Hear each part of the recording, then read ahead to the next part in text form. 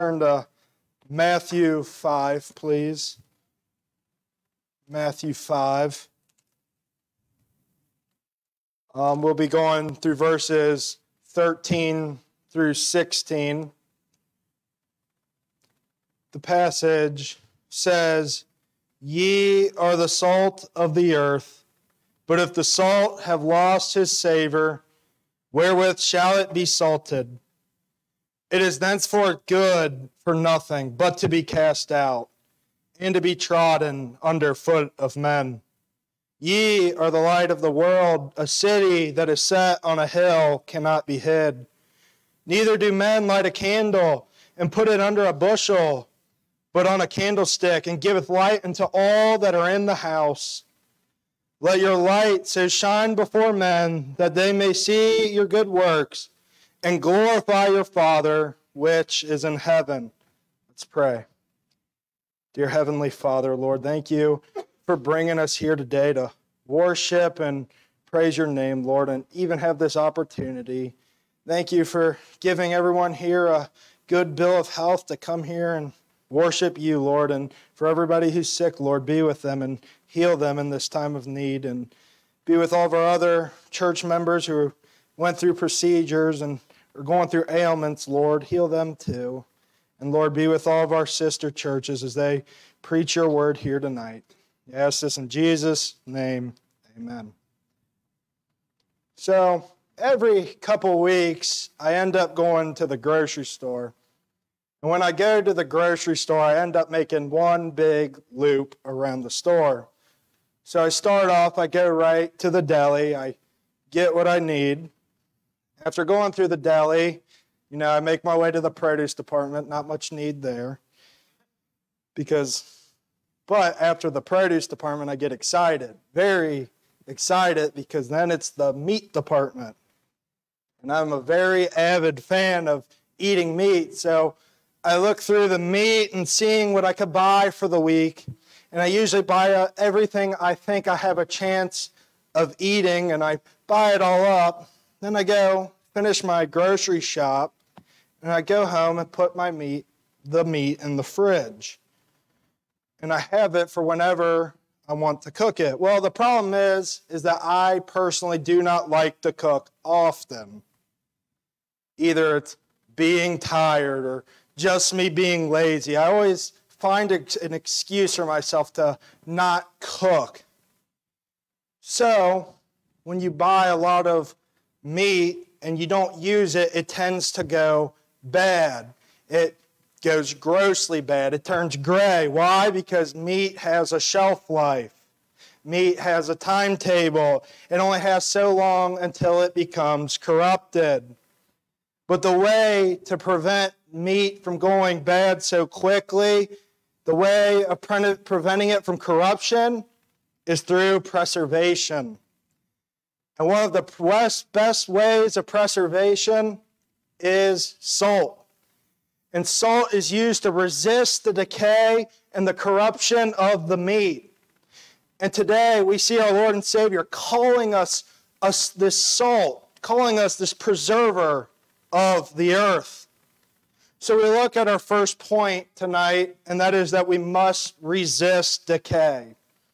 It says in verse 13, Ye are the salt of the earth. But if the salt have lost his savor, wherewith shall it be salted? It is thenceforth good for nothing but to be cast out and to be trodden under foot of men. Yes, salt is to resist decay. No, salt is not able to change it back when it's already decayed, but it is able to preserve it from further decay to resist that foul smell from coming, to resist the meat from going gray, to resist that putrid smell, to resist the corruption that awaits it. And here we are called the salt of the earth. We are the ones to serve as that resistor, to serve as the preserver. And Jesus here says, Ye are the salt of the earth. We look further in this verse, and the word here translated from earth is gay, G E. And the word gay is specifically used here to refer to earth distinctively away from heaven. Why? Because there is not any need for salt in heaven. Heaven is perfect. There's no need to preserve anything in heaven. There's no turning gray in heaven. There's no putrid smell in heaven. None of that corruption could get into heaven. It was cast out. But this shows us where we are to be the salt at. And that is here on earth or yea. But yea is also a, a parochial word. And it suggests it's a special land or country or region. And it's distinct from other areas. So gay also suggests it from the soil as well as it conveys the idea of a material side of life. So there are two main things here. We are the salt, and the people are the earth.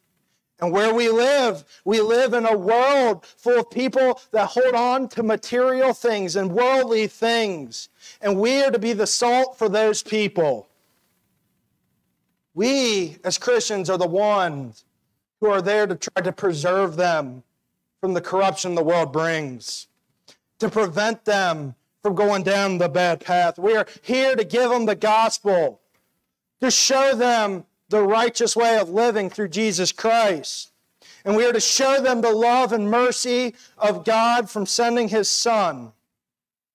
That's what it means to be salt. That's what it means to preserve. It's not through our actions, it's not through our ideas, but it's through the power of Christ that gives us this effect as salt.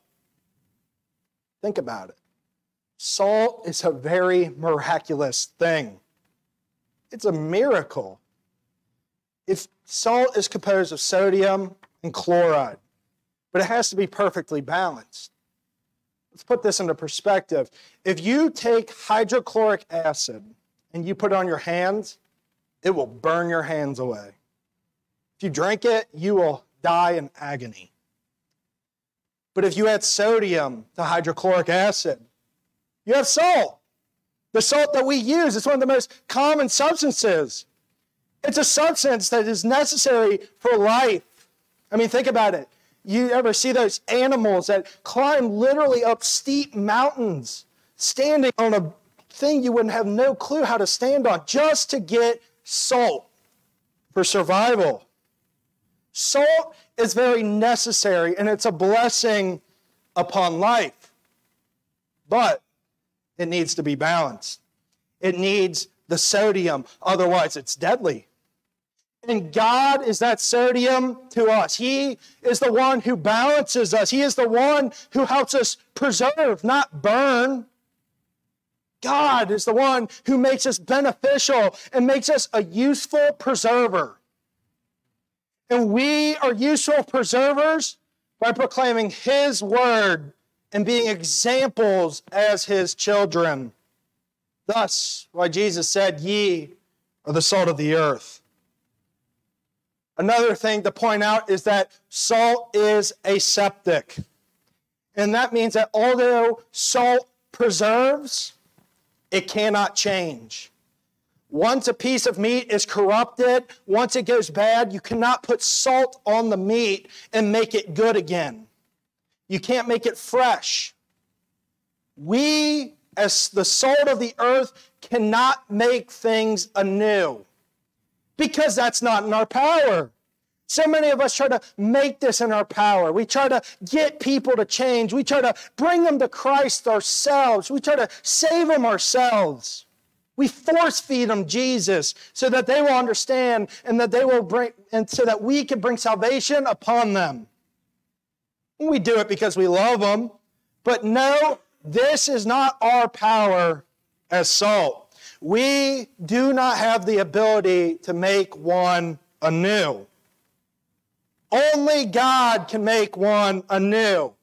Only God can make one reborn. Only God can turn the gray piece of meat back into a pink, fresh piece of meat. No, as the salt of the earth, we can't make one new but we can preserve and resist the decay. That's our job as the salt of the earth to prevent further corruption, to prevent it from getting any grayer, to help resist the spread, to take the spiritual battlefield and fight for God and His righteousness, to show others God's glory, to show His love and mercy, to stop the spread of the wickedness and vileness that is just going around. It is to act on behalf of God. And doing these things is what preserves the world. It's what makes us salt. It says, Ye are the salt of the earth. But if the salt has lost its savor, wherewith shall it be salted? It is thenceforth good for nothing but to be cast out and to be trodden under foot of men. We talked about the word earth or gay a little bit already, but it's important to know that the earth, how it is separated from heaven, is filled with this corruption. It's filled with disaster. And we, as the salt of the earth, are the medium in which we bring heavenly things and exert it upon earthly things. So know this that we are heavenly people meant to live a heavenly way in an earthly environment. Listen, we talked about salt preservation, but let's look at the most common way we look at salt something we add to the food. It enhances the flavor and adds that tang to it. But and that is also what we as Christians are here to do on earth. We are to ex- exert and enhance our heavenly side and enhance our godly influence to the world, the corrupt world. That's why we make sure that we are being a right influence, that we are living the way God wants us to live, that we are giving Scripture the way God wants Scripture to be read. That's why knowing the Scripture is very important. That's why we stay true to the most reliable translation. Because there are many people on this earth that go wrong. And there are many people on this earth that are proclaiming to be the salt of the earth, yet preserving nothing. It says, Ye are the salt of the earth, but if the salt has lost his savor, wherewith shall it be salted? It is henceforth good for nothing, but to be cast out and to be trodden under foot of men. Moral of the story if you are a contaminated piece of salt, you do not promote purity. It does not resist corruption. It does not do the job it's intended for. You will not preserve a thing if you are a corrupted piece of salt. The words in this verse, lost his Savior, indicates a foolish behavior. It indicates immorality. This is describing the professing believer whose lifestyle is not godly and promotes destruction rather than preservation. It's describing one who has lost his ability to influence. Such salt will not preserve anything. In fact, they would use the contaminated salt to put over vegetation so weeds and other things won't grow. It's used to kill. Thus, when a believer comes when he has lost his Savior, nothing can grow where that salt is. Then what? As the Bible says in verse 13, it is henceforth good for nothing but to be cast out and be trodden underfoot of men.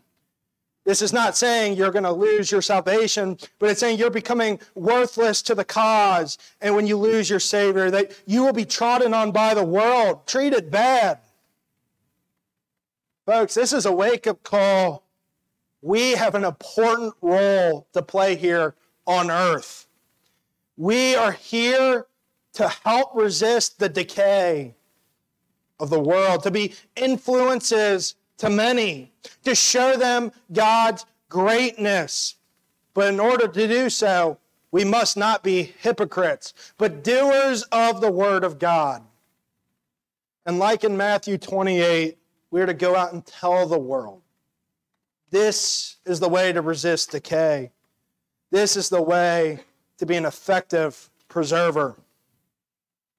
So we go over talking about resisting decay in this world, but our second and final point is about removing, removing darkness.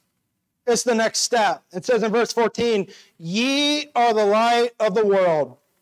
A city is set on a hill, cannot be hid. So after saying that we are the salt of the earth, and that is dealing in a more moral sense. Jesus goes on to call us the light of the world. And this is dealing more in a spiritual sense. Salt relates to who we are, but light relates to what we do. Salt is about character, light is about conduct. That's what we're going to be looking at. So, first, let's remember what does light do? What does light do? Light is here to remove darkness. And who is the light of the world? Who is the one who removed the darkness? Who is the one that was the light for us? Jesus Christ. Christ is the light of the world. That's what John 9 5 says. But then Jesus says here in Matthew that we are the light of the world. And these statements are not contradictory because this is Jesus saying that we are to be like him. We, he is who we look up to. He is who we are supposed to model ourselves after. He is the great and prime example we're supposed to look at and to follow. We just talked about it with salt. Now we're talking about it with being the light of the world. We must be like him we must try and act like him, not be hypocrites to what we go around and share. Because imposters will never be able to drive out darkness. You'll never be able to be an effective light. We could tell early on about someone's true character. You could see the darkness. We can see that around them. It says, Ye are the light of the world, a city is set on a hill cannot be hid. The word here for world is cosmos, which points to the whole created order of things. And the root of the word also means plane, polish, and carve. So this world, this word, yeah, so this word is implying an order and a beauty. So when we become the light for this world, our purpose is to advise people of the natural order that God created things and our relation to it and their relation to it. But as well, we are to show them the beauty of it, the beauty of our created universe that is subject to God's power. This is very important, yet it has become a lot more difficult in society today. Society keeps pushing in our education systems the theory of evolution. And this theory rejects God as the creator. It rejects the truth of God. It rejects all truth. It hides it. And society has kept spiraling down away from the Word of God and rejecting His truths ever since. This is having many effects on the world today, and not for the better. Thus, the need for light in the world. Thus, the importance of a Christian to act like Christ and to model ourselves after him. Listen, we are here to remind everyone of the sovereignty and authority of God, just as Jesus did.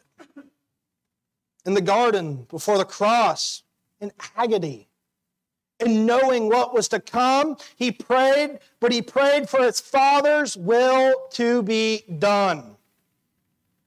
That's what God wants from us. He, that's how Christ wants us to follow and to act in the very same manner, manner than, that he did. To obey God and to do his will. Then Jesus goes on to say, Ye are the light of the world. A city is set on a hill cannot be hid. So Jesus here is using a city as an illustration for us. And the city here is used as an example to be a light in a group way. It indicates all the lights being shined together as one. One large testimony of what Christ has done. But the city is made of everybody's individual candles. Look at verse 15. It says, Neither do men light a candle and put it under a bushel, but on a candlestick, and it giveth light unto all that are in the house. The candle is here to represent us, to tell us about the light in a more individual setting. It indicates our own personal testimony, our own personal way of being like Christ. Where I'm going with this is that everybody needs to have their candle lit up to light a city. Our church is a city. And when you become that city, you cannot be hid. The world cannot conceal you. And they will try to conceal you. They will try to push you under the rug because they do not want you to thrive. But the light of the city will be so bright from Christ that it will overcome all darkness. It's just not possible to just walk by it and not see it or to ignore it. The world will see it. And that's the goal. And that's how Christ came into the life of us believers. He came as a light. He destroyed that darkness. Listen, we can't save people, but we can be a light in this world to show them what Jesus Christ has done. Show them the beauty of what Christ has done. Plant the seed in their head and let God do the rest. But again, that city is lit up by Christian houses and their candles. We need our own candle burning. We need our household to see the light of that candle. It says, but on a candlestick and giveth light unto all that are in the house. Don't hide it under a bushel. Don't hide it from others. There's no need to hide it because we only hide things when we are embarrassed of things. But the light of Christ should not be one of those things that we are embarrassed about. Shouldn't. And if it is something you're embarrassed about, it's something you need to reflect on. Why are you embarrassed?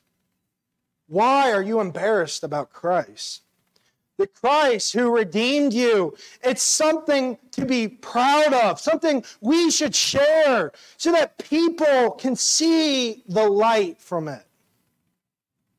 If you hide a candle under a bushel, what good is that candle? What value does it serve? It doesn't serve much purpose. It doesn't have much value. A candle is most valuable when you can see the light it produces. And it's the same with us. We provide the most value when people can see the light that shines from us through Christ's power.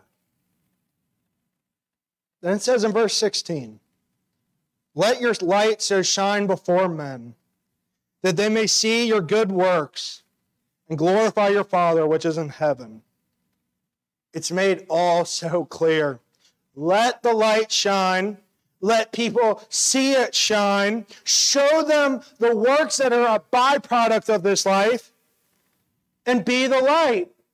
Be the salt. And you know what light and salt have in common? They put their influence on things silently. They aren't loud with what they do. You don't hear much speaking from light and salt. It isn't publicly known when you use salt or when you see light. And we are to be similar examples, not to pique ourselves highly, not to look upon our deeds highly, but at the end of this verse says, to glorify the Father which is in heaven. This is huge because we easily like to take credit for what we do. We like to think that we are a good preserver on our own, that we are a bright light on our own. But it's only through God's grace and power that we are effective preservers and bright lights. Therefore, when good comes from these gifts, we need to give glory to the one who provided those gifts. We need to give glory to the one who made it possible, to give glory to our Heavenly Father from above. And remember, Jesus perfected this, and we are to try and be fully like him. And that's where our goal is here today. Finally, on the conversation of light, I want to bring up how similar to salt, it's another great miracle. A miracle that is great and as wonderful as salt is. Because just as salt makes life possible here on earth, physical salt, life, light makes life possible in heaven. Because Jesus is the true light, the light from heaven, and you need that light to achieve salvation. That light is what conquers darkness. And it's truly a miracle for the believer of Christ. We're in need of that light just as much as we are in need of salt here on earth. Concluding, I want us to think about the two words we talked about resist and remove. Resist the corruption on earth. Be a preserver for God here on earth. Act the way God wants you to act. And know that salt loses its value when you lose your Savior. Savor. Don't lose your savor. Don't lose that passion. Don't fall to the world. Do not become, as the verse says, good for nothing. But keep your savor and be an effective tool in Christ's shed. But we also need to remove remove darkness from around us. And we know the way to remove darkness is through light. And Christ tells us to be the light by being like the true light, and that is Jesus Christ. Do not be afraid or scared to show that light.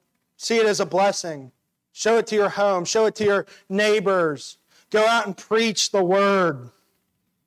And then the beauty of it is when you have multiple lights lit up, just like here today, you have a city that is shining bright. And it's a city that people can't just walk past. These are the tasks, especially as we go through the week, that we need to think on to be the light of the world and the salt of the earth. Let us pray. Dear Heavenly Father, Lord, thank you for again for bringing us up here. Lord, help us to go into this world and be good preservers and a light for you, Lord, that we may show people the way and give the gospel fr- fruitfully. Lord, we ask this all through your power. Lord, bless us as we go. Keep us safe. Keep us from illness, Lord. We ask this in Jesus' name. Amen.